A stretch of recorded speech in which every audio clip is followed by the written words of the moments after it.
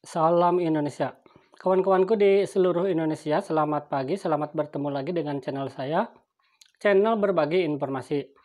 Dan pada kesempatan pagi ini, admin akan berbagi informasi seputar syarat-syarat apa saja yang diajukan untuk pendaftaran UKM pada tahap 2. Di mana kita tahu ya bahwa untuk tahap 2 ini diperpanjang waktu pendaftarannya hingga akhir November 2020.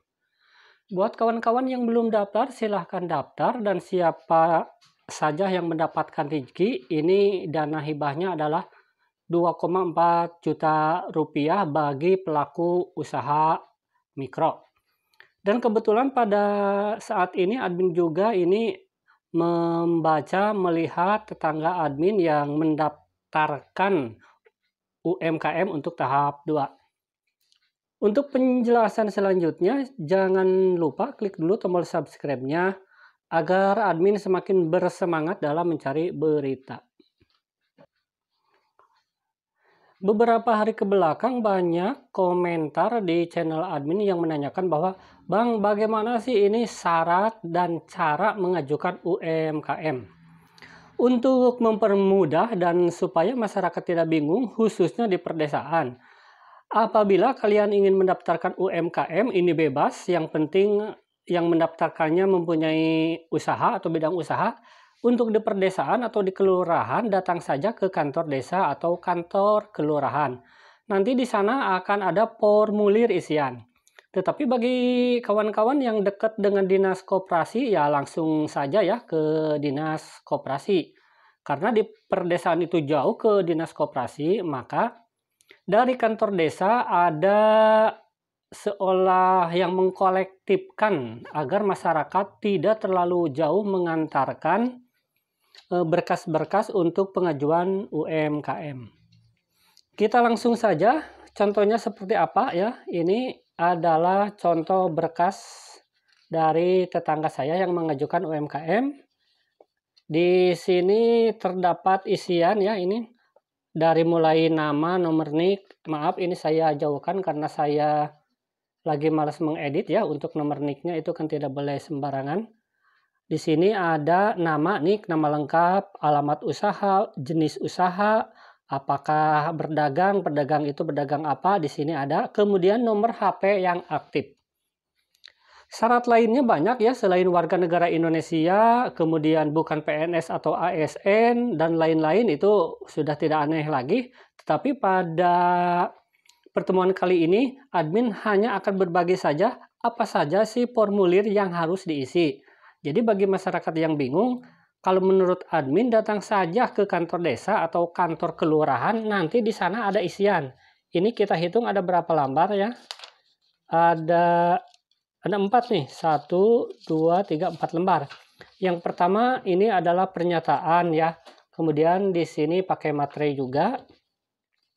Kemudian yang kedua adalah apa ini surat pengantar bantuan usaha mikro. Sama ya, ini isinya juga adalah nama, nomor NIK, alamat lengkap, bidang usaha sama dan di bawahnya ini harus ditandatangan ya. Kemudian pada lembar ketiga ini surat pengantar. Surat pengantar permohonan izin usaha mikro. Ya ini sengaja nih untuk nicknya saya tutup ya. Ini karena admin lagi males mengedit ya jadi ini diisi nomor nick ya. Kemudian ke bawahnya ini biasa. Bidang usaha kegiatan usaha kemudian ditanda tangan oleh ketua RT, RW, dan kepala desa. Ini lembar ketiga ya. Jadi kalian harus ke kantor desa atau ke kelurahan karena memang ada tanda tangan dari pihak desa. Kemudian yang keempat ini formu, formulir permohonan izin usaha mikro yang bertanda tangan di bawah ini sama ini nama nama pemohon ya. Nama, alamat rumah, nomor KTP, nomor NPWP kalau ada, nomor telepon yang aktif ya. Kemudian di sini ditandatangani oleh si pemohon. Jadi sangat sederhana sekali. Ini permohonannya ya ada empat lembar. Satu dua tiga empat. Ya jadi kalau kawan-kawan lihat di YouTube nih bingung syarat-syaratnya tetapi sekarang ini langsung ke syarat berkas-berkasnya supaya tidak bingung.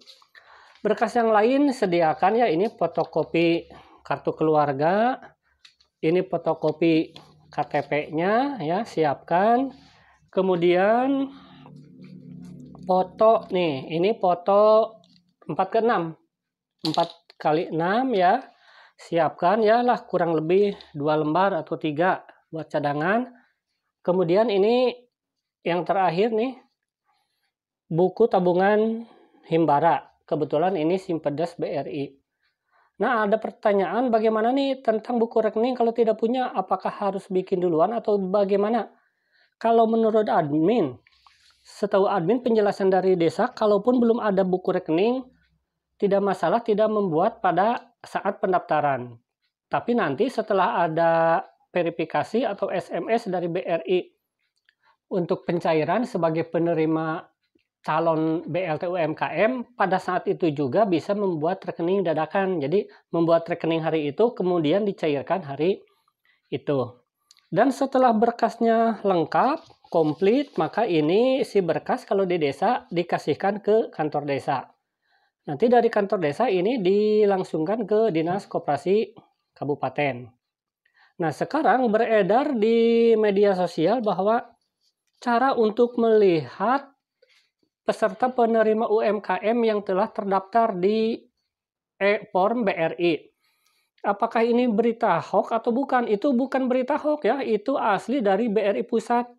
Maksudnya, dari pihak BRI kepada masyarakat yang ingin mengecek nicknya terdaftar atau tidak sebagai peserta UMKM, silahkan menggunakan link e-form BRI. Karena ke kemarin katanya ada tetangga saya datang ke bank dari pihak bank katanya saya tidak tahu disuruh pulang lagi katanya ini belum ada panggilan. Jadi maksud dalam tutorial teman-teman di YouTube itu ya, apabila kita sudah mengecek nomor NIK kita di e-form BRI, kemudian terdaftar sebagai penerima BLT UMKM 2,4 juta, jangan langsung ke kantor BRI terdekat, jangan. Tunggu dulu SMS notifikasi atau SMS pemberitahuan nanti akan datang ke HP kita bahwa nasabah yang terhormat dimohon datang untuk verifikasi bantuan UMKM misalkan pada hari Senin